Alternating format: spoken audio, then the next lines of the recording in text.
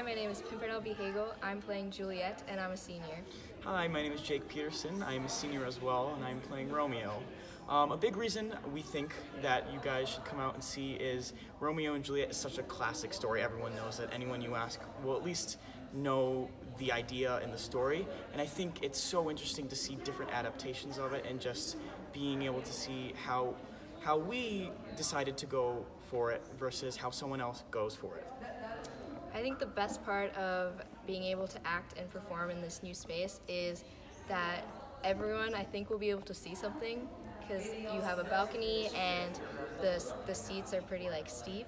And also, it's just really a much bigger space than we're used to, so it's really cool to get to act with.